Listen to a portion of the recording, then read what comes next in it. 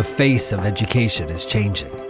The world is moving forward, and technology is taking us by the hand to show us a whole new way to teach. It's never been more essential to use every tool available to help guide the next generation of elevator mechanics towards a long and safe career.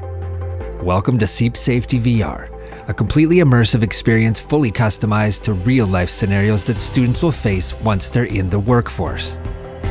From identifying hazards to safety protocols to feeling the effects of working at heights, CEIEP Safety VR prepares apprentices for a wide variety of tasks they may face.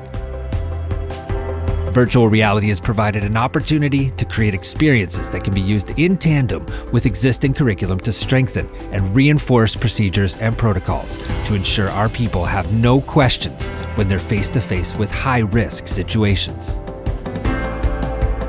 Not only do these types of virtual exercises emphasize key components of in class curriculum, but with the help of immersive experiences, there's a greater retention and understanding of CEIEP training.